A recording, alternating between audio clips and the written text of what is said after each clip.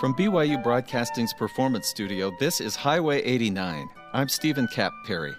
Joining me in the studio today is classical guitarist Matthew Rohde. He's visiting Utah from New York City. Here is a guest of the Utah Classical Music, uh, Utah Classical Guitar Society, part of their Young Artist Series.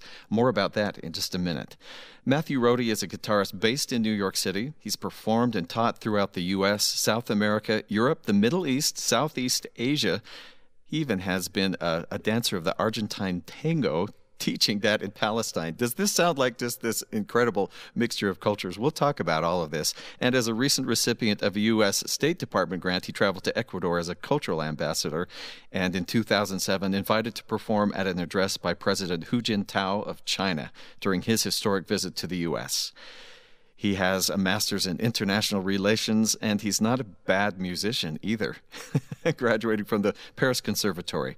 We'll talk more with Matthew in just a minute. First, we want to start off with music, a Brazilian number, Valsa Sem Nome, a waltz without a name by Baden Powell.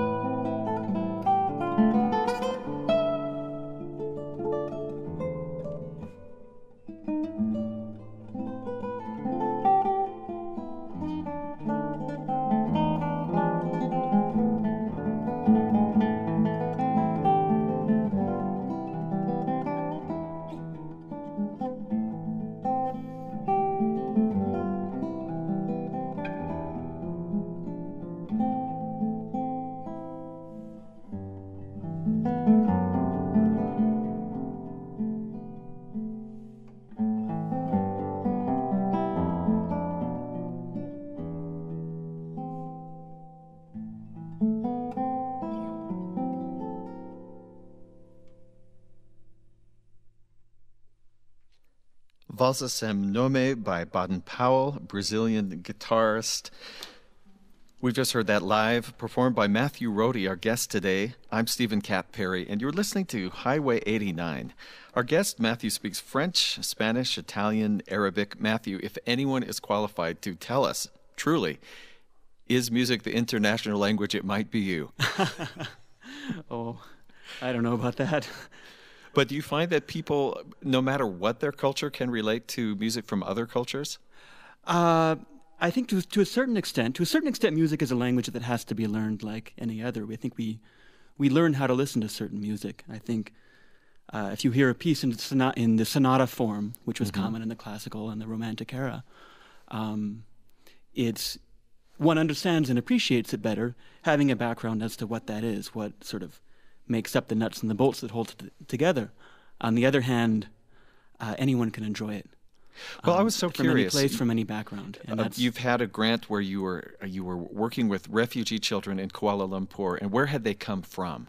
Uh, in Kuala Lumpur, those children came mostly from uh, Burma, from Myanmar. Although there were also refugees from Sri Lanka and a handful of other places. So, what is their reaction when they're hearing Western classical guitar for the first time, or is that where you start when you're working with them? Uh, the thing about the guitar, the guitar specifically, I think, is a um, has a sort of universalist, populist appeal. Um, I can't think of a single culture in the world that doesn't have some sort of version mm. of a guitar or an instrument with a some sort of box with a string over it that you can pluck. Um, so the thing about the guitar is that everyone loves it, and everyone can sort of relate to it on a certain level, and that um, for someone doing what I'm doing, which is going to a place like that, that's uh, that makes my job easy. So, with a, a degree in international relations, I mean, was that was that your thing, was that your idea from the outset that you would be able to use music over different cultures, or does that something that happened along that oh, road? that was that was not part of the original plan. It sort of, I think, uh, um, yeah, it, it, sort of that path sort of laid itself as I um, as I went down it. I, immediately after graduates, my first graduate degree, um, which was in music, I, for a variety of sort of unexpected reasons, ended up moving to Palestine, um, to the occupied West Bank, to the city of Ramallah, where I taught for about 14 months with a little music school there and did music. And for a variety of reasons, ended up leaving after, after, after 14 months. But that, that experience had a huge impact on me, and it uh, made it hard for me to imagine going back to a career of a conventional career in, in music or in classical guitar or, or what have you. And uh, within a year or two of coming back to the United States, I, sort of fresh with these ideas I had gotten from my time in Palestine, um, thought I might try a degree in international relations and see how that felt and um, to see how that might expand my own horizons. Well, we want to hear some more of this interna- international melange of music. We'll let you go ahead and get settled for the next piece over there. Uh, we're going to hear from a classical guitarist, a composer from Barcelona, Spain, Miguel Llobet. But the piece is called Mazurka, which is, of course, a traditional Polish dance, usually in triple meter, so that you could dance to quite lively. But I think you'll enjoy this really contemplative Mazurka.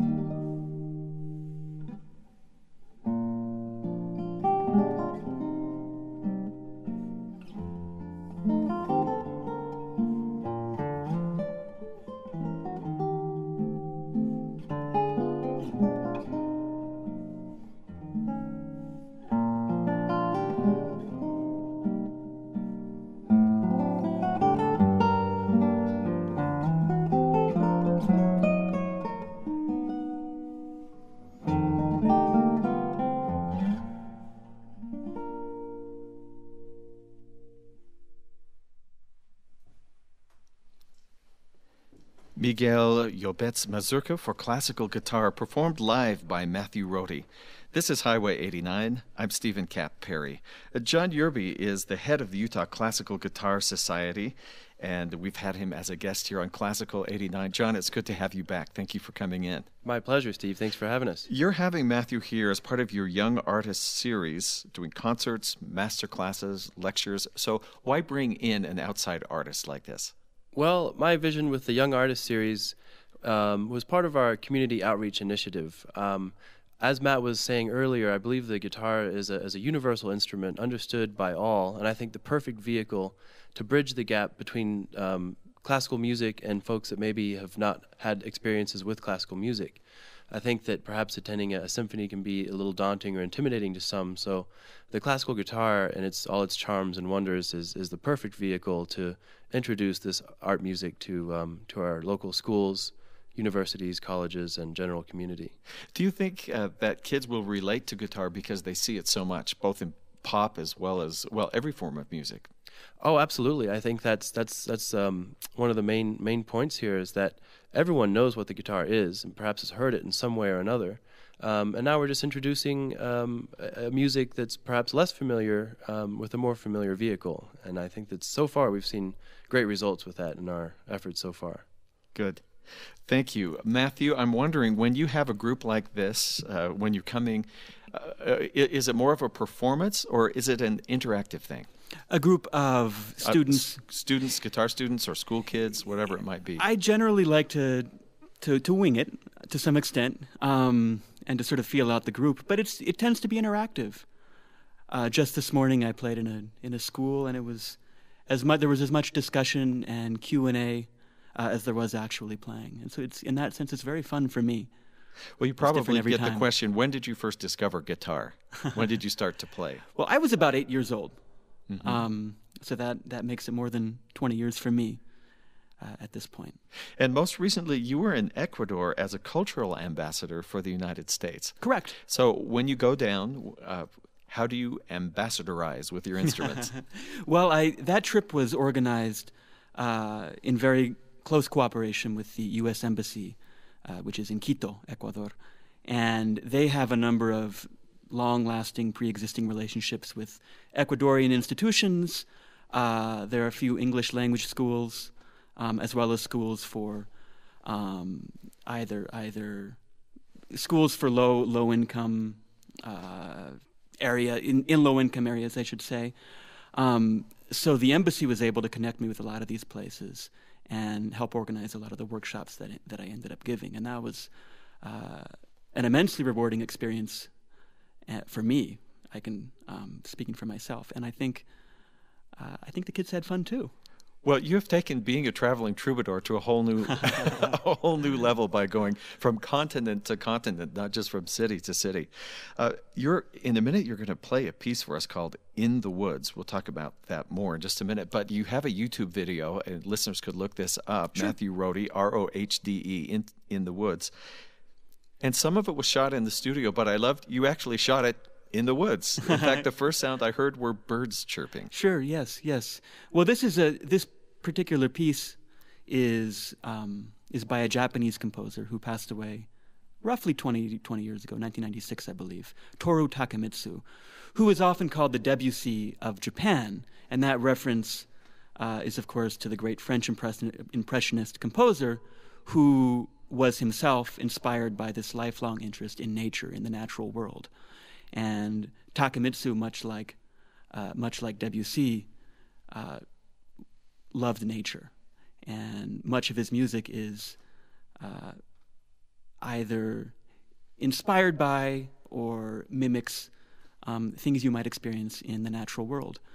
Uh, and so a piece like In the Woods, which, as you might suspect, is uh, might might sort of conjure images of being in the woods, lends itself very well to being well, filmed I, I in like, the woods. I like um, how the video opened it up to that, yeah, not just yeah. the concert hall. Let's hear this piece. We'll sure. let you go ahead and get seated with your guitar. Uh, in the Woods is the piece. It's the first movement of his Wainscot Pond, which was inspired by a, a painting by Cornelia Foss. He dedicated this to Australian guitarist John Williams.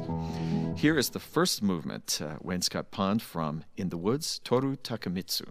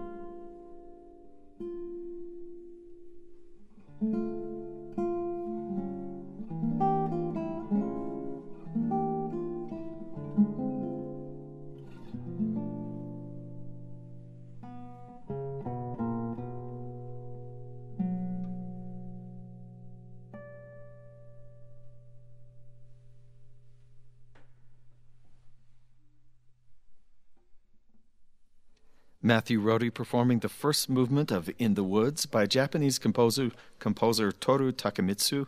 You're listening to Highway 89. I'm Steven Kapp Perry. Matthew, I have to ask a composer who's writing for an orchestra will hear different notes and assign them to different instruments. But in the case of maybe piano or, or guitar, where you're playing something written by a guitarist, and you're actually putting your fingers all in the same places and doing the exact same work, do you feel like you get to know those, those composers by playing exactly what they've written? Absolutely. I mean, you feel feel the difference in their style, not just from their sound, but even where, where your hands even, go. Well, the guitar is is such an idiosyncratic instrument. The strings are sort of almost evenly tuned, but not quite. And as a result, uh, everyone develops a different understanding of the instrument, especially those who come to it uh, as composers, I think, who, mm-hmm. who didn't sort of grow up playing it necessarily. Uh, and so I think it's totally fair to say that someone like Takemitsu um, has an entirely different relationship to the instrument, and his music has an entirely different feel um, from that of someone like Llobet, for example, mm-hmm. whose music I played uh, a few moments earlier. Well, now tell me about your guitar because uh, guitarists are pretty pretty picky about what they love to play on. Sure.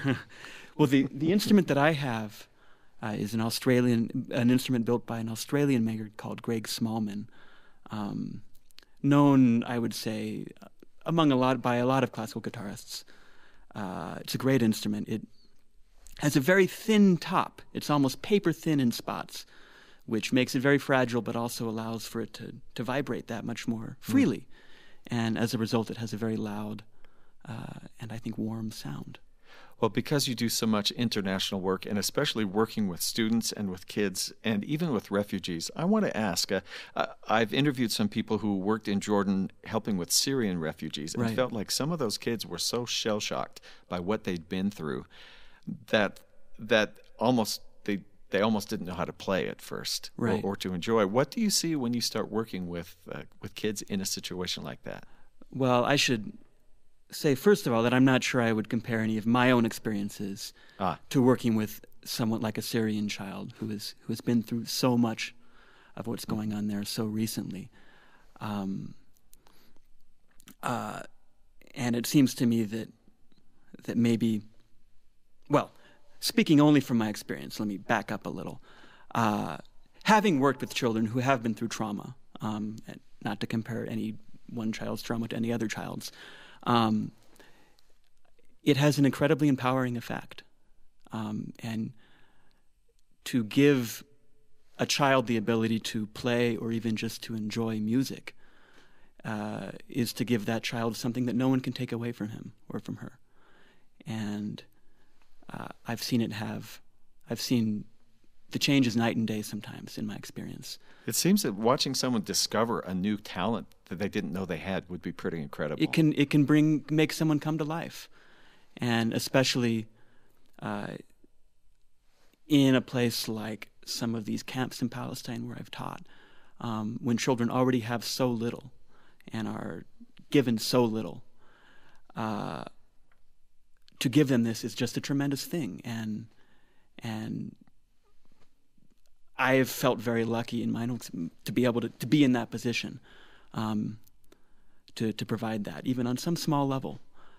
It's very gratifying because well, we, it does it does uh, have a huge impact. We want to hear some more music. We're going to end up with one more piece. This is a piece by an Italian composer. We'll let you go ahead and take your, your place here. This is by Nuccio D'Angelo. We're tuned away. That shows we're live here on, on Highway 89. The piece is uh, called Due Canzoni Lidie by Italian composer Nuccio D'Angelo. And I want to point out that Matthew Rohde has studied at the Conservatory in Paris. Also, he has a, a degree in international relations. Besides all of the other awards that he has and being a cultural ambassador with the State Department to Ecuador, he's traveled in cooperation with the United Nations High Commissioner for Refugees, launched an initiative to expose refugee children in Kuala Lumpur's area to jazz and to classical music. And now we'll hear this Italian piece, Due Canzoni Lidie, by Nuccio D'Angelo.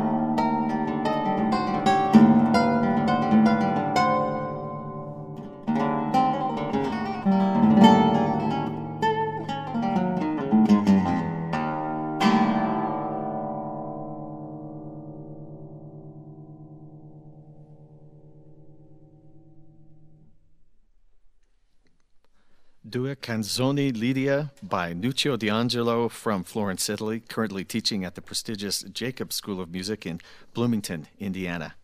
That was performed by Matthew Rohde. I have to say, we should mention that Matthew carries all of his music in his brain. It's all been performed by memory today. I'm Steven Kapp Perry, and that concludes this edition of Highway 89. Matthew Rohde is a guitarist based in New York City. He's performed and taught throughout the U.S., South America, Europe, the Middle East, Southeast Asia. And He's completed studies at Yale, the Paris Conservatory, the Academy in Siena, Italy, also holding a master's in international relations from Sciences Po in Paris, and he's reasonably certain he's the only person ever to have been a full time student at both Sciences Po and the Paris Conservatory. He speaks French, Spanish, Italian, and Arabic, besides playing a mean guitar. Check out uh, all the information that's at what I have to say is a rather well designed website, matthewrohde.net, R O H D E.